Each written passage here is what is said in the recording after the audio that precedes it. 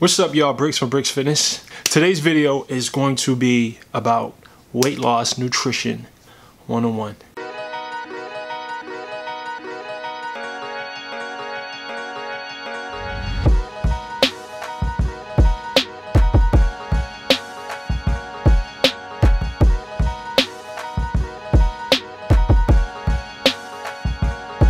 When it comes to weight loss, nutrition is the most important thing there is. It doesn't matter what you do in the gym, if your nutrition is not on point, you will remain the same. First thing, there are five categories when it comes to nutrition that I'm going to speak about today. I'm going to break each one down and give you a brief explanation of how each one is very important to the success of your weight loss journey. So these five categories are calories, macronutrients, micronutrients, nutrient timing, and supplementation.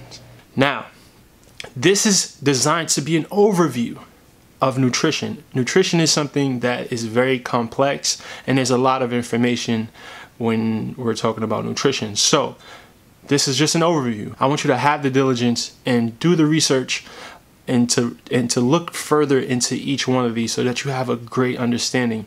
To lose weight, I really believe that you have to become somewhat of an expert when it comes to what it takes to lose weight. Like I said, this is just an overview. Take a moment right now before I get into this video to like the video. I really appreciate the support, guys. Thank you so much. And subscribe if you haven't subscribed yet. Calories.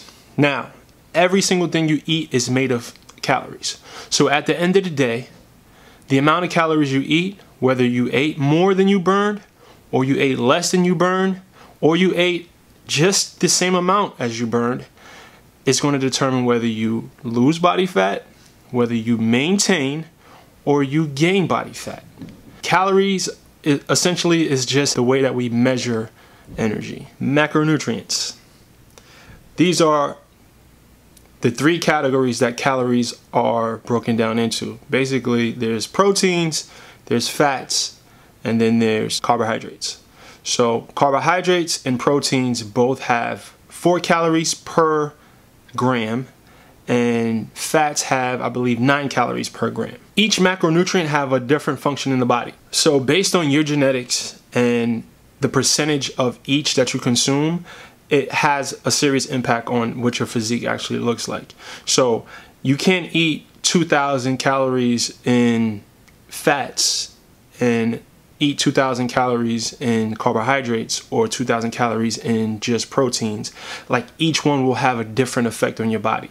So making sure that your ratio is is correct for your genetic makeup is very very important. Micronutrients refers to the small nutrients and these are the nutrients that are found in vegetables, fruits, etc.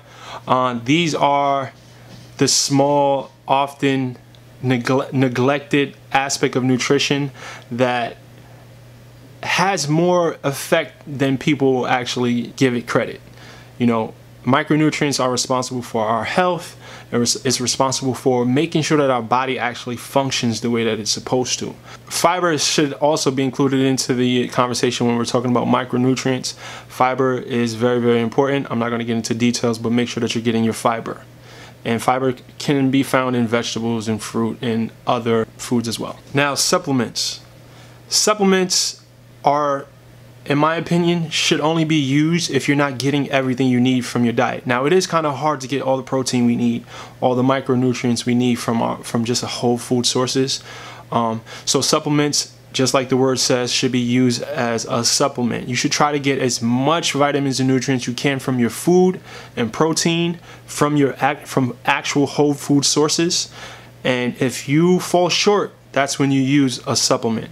There's different types of supplements, of course, uh, multivitamins, um, protein powders, you have your pre-workouts, the list goes on and on. Essentially, you want to use supplements to cover you from what your diet doesn't cover. All right, I'm also going to take this opportunity to, to touch on a topic that I get asked about, about a lot.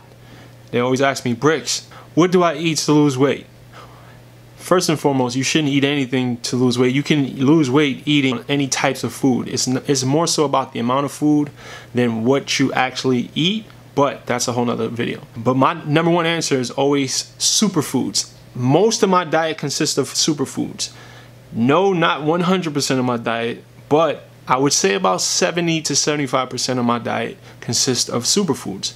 And I always just tell people to Google superfoods. So what I did is I Googled superfoods and I'm gonna list some superfoods that I eat, right? So when you're trying to have a healthier lifestyle and eat a healthier diet, these are some of the foods that you should eat. Greek yogurt, quinoa, blueberries, kale, chia, oatmeal, green tea, broccoli, strawberries, salmon, watermelon, spinach, pistachio nuts, eggs, almonds, ginger, beets, beans, pumpkin, apples, cranberries, garlic, cauliflower, leeks, lentils, walnuts, Brussels sprouts, avocados, collard greens, olives, brown rice, oyster, red potatoes, sweet potatoes, edamame, bran flakes, kiwi, black beans, all types of berries, sunflower seeds, sardines, asparagus, bananas. The list goes on and on. Just Google superfoods, eat mostly superfoods, and I promise you, you will not only look better, you will feel a hundred times better. Now, I hope this video helped you guys. Please like, comment, and subscribe if you have not subscribed to the channel yet. I have a lot of great, a lot of great content coming up, so stay tuned for that. And as always, I'm just trying to share the wellness with you guys. So get well and get money.